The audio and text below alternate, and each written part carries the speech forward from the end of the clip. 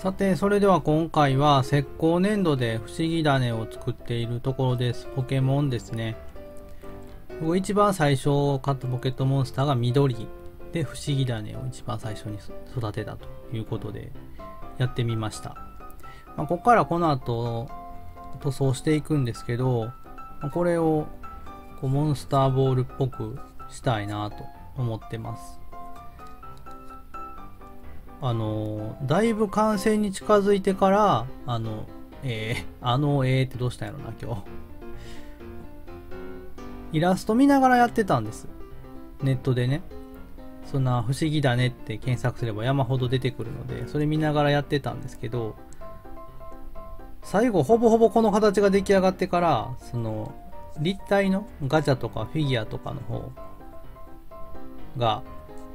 後になって出てきたんですよね。見ながら作ればよかったと思って。最初ほぼほぼだから平面から、えー、こんな感じかな、あんな感じかなというのでやっていったんですけど、これまあちょっとまだ目のところがね、あのー、掘り込んで、わざと目とこの口の掘り込みをこれ、これ頑張ったん知ってほしい。めっちゃ掘り込んでるんですよ、これ。あの、カッターナイフの先でね、どんどんどんどん掘り進んでいって、で、まあ最後牙つけたんで奥行きがなくなるっていうね。本当に、あの、悔しかったけど、ネットで見るとどうしてもこの辺にあるんですね。ちょうどこの削り込んだ位置に牙があるということで、ここもなんかうまく触れればよかったんですけどね。でこんな形で現在できております。まあ、この、何ですか？ニンニクみたいなとこがどれだけ大変だったか、これ。イメージできないんですよ。こんなボコボコした形最初にね。なんかなんとなく丸にしてたけど、そこからこの形に削り込んでいく作業たるや、もう本当に部屋中が粉だらけになってですね、文句になってますね、これは。えー、大変やったよと。で、やっぱ気に入ってるのはこの爪なんですけどね。この、わー、ピン大変かな。この爪。良くないですか？これ後付けなんですけど、塩ビ板で後からつけてるんですけど、ゃんと爪が入る形に水を掘り込んでるんですよ、それぞれ。ちょっと芸が細かいんです。上から貼ると、もう貼ったなっていう感じになるので、ちゃんと生えてる感じにしたくて、こう中に爪型に、このひし形の塩ビ状に削り込みを入れて、こんな話興味ないですか？あんまりみんなに興味ない？一応ね、そこが大変やったよっていうのをお伝えしたいなと思っております。まあ、この後の、ま、難所というかどうしようかなという点としては、このモンスターボールを何ボールにするかですよね。僕は大体いつもここひねるんですよ。もっと言えば、この不思議谷を黄色に塗ってみたりとかね、そういうことをしてきて、やっぱり、えー、チャンネル登録者1000人達成するのに5年かかったわけですよ。で、造形作家としては30年まだ芽が出てないと。一応何度か売れた気はするんですけどね。あの、やっぱりその、気をてらいすぎているっていうところでね、普通に不思議種にした方がいいかなって思ってて、そうなってくると普通のモンスターボールがいいのかなって。ただ、それでいくと多分、あの、個性が死んじゃうんで、どうしようかなって思ってます。モンスターボールだけでもせめて、本当はこの不思議種僕黄色にしたいんですよ。別に意味はないんですけど、したいんですけど、これするとね、もうなんか分かれへんようになって、以前ね、ハンターハンターのメルエムが好きなので、メルエムの色を赤色で作ったんですけど、まあ、視聴数4とかでしたね。ちょっとそれは避けたいから、一般的な不思議種。ごくごく普通の不思議種で、えー、モンスターボールだけちょっとやろうかな、どうしようかなって思うんですけど、どうですか？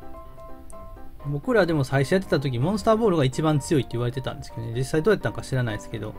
マスターボールは絶対捕まえれるやつか。それ以外で、他のハイパーボールとかも当時からありましたけど、実はモンスターボールやぞみたいな話が昔あって、そんな話いらないですか？造形について喋っていいですか？これ、まあ、やっぱり一つは今までと比べるとちょっと小さく作りました。あの理由は置くところがなくなってきたからです。あの、オクタンとかね、前回の、これ何やったかな？M? いたちょっとごめんなさいね。これ、でかいんですよね。ちょっと場所取るから、ちょっと一回りちっちゃくしようかなということで、一回りぐらいかな。一回り、二回りぐらいちっちゃくしてみたんですけども、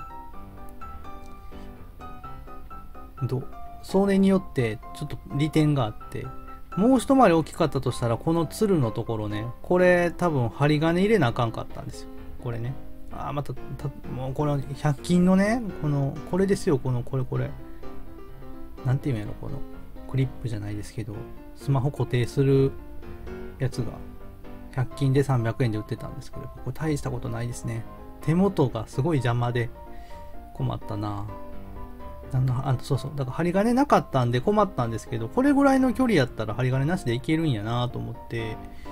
うん。そこはちょっとね助かりました。やっぱ小さく小さいことはいいことだって昔誰かが言いましたけどほんまやなと思って。できるだけね小さく作れたら作る方がいいのかなって。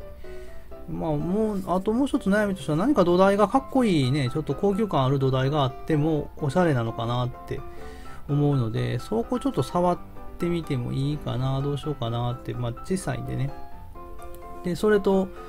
スカルピーを注文しました。いよいよもって、え 400g4500 円という頭のおかしいものですよ。あんなもん、もう金持ちの息子が使うやつですよ。あの、なんていうんですか、人の金で専門学校行ってる奴らが使う道具ですけども、まあちょっとやってみようと。だから造形ジャンルとあと彫金のジャンルっていうのはもうあの1台では気づけないですからね。どっちも多分誰かの工具をいただいて作ってんだろうなと思うんですけど、これ悪口でしょだから、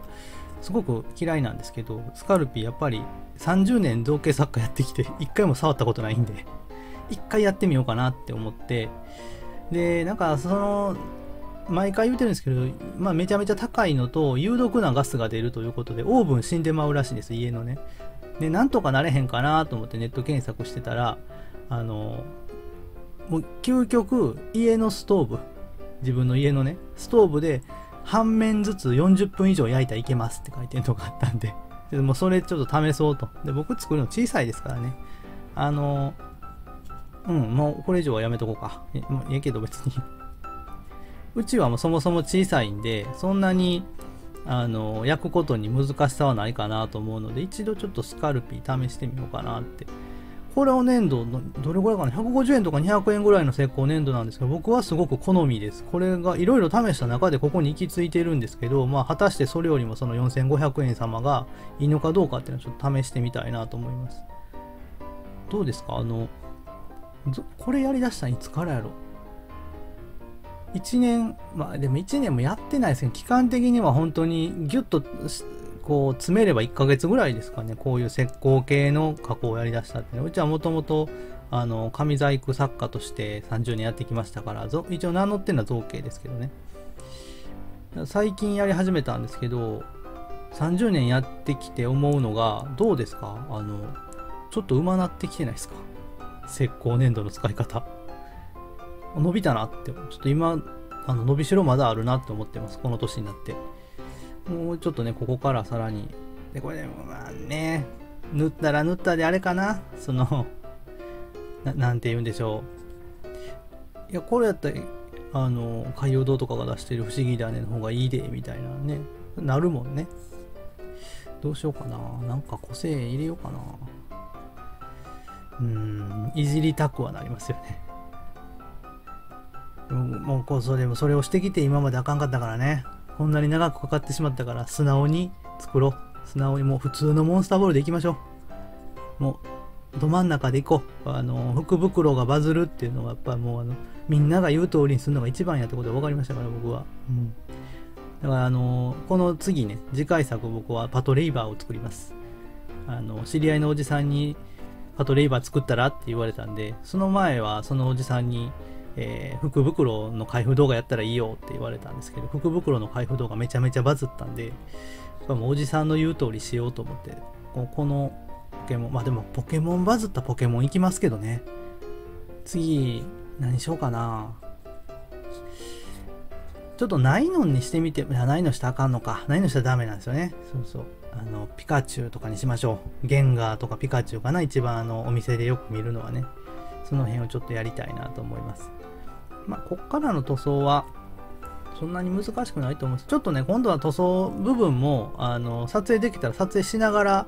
えー、見てもらおうかなと思うので、そちらもね、ぜひぜひ見に来ていただけたらと思います。まあ、この動画は誰も見てくれないの知ってるんですよ。もう、あの、2000、2000数百本の動画を上げてきて、うちが造形について語ると見てくれへんって知ってるけど、ちょっとなんか、このお正月からやったら僕卑屈になってるんですけど、ガチャに課金して外れたんですよね。アプリのね。辛いですね。ということで、今回は、えー、これどうまとめ方わかんない。サムネ見てください。何の動画って書いてるか僕もわからんのですけども、とりあえず不思議谷の制作、ちょっと途中までまとめてみました。えー、ぜひぜひ、もしもここまでチャンネル登録してなくて偶然来て見てくれてるっていう方がもしもいたとしたらそれすごいことなので、ぜひチャンネル登録していただけたらなと。うちもバラバラの動画を載せておりますので、まあの今後もずっとバラバラの動画が上がるんですけども、ぜひともその都度ね、ついてきていただけたらなと思います。えー、では、ご視聴ありがとうございました。アトリエ造形の王様ではたくさんのジャンルの動画を日々投稿しています。ゲーム実況、工房のグッズや作品紹介、配信者さんとのコラボ実況、ガンプラリペイント動画、技能検定、技能五輪解説、レトロゲーム実況、イラスト動画、ラジオ動画、ガチャ動画、古典の様子など人気作家になりたくて必死にあがいています。どれか一つでも興味を持っていただけたらぜひチャンネル登録よろしくお願いします。きっと興味のないジャンルの動画もたくさん上がります。それぞれ再生リストから見やすくしているので、登録後は通知を切っていただいて忘れるギリギリ寸前ぐらいにまた見ていただけたら嬉しいです。それぞれが見たい時に見たいもの。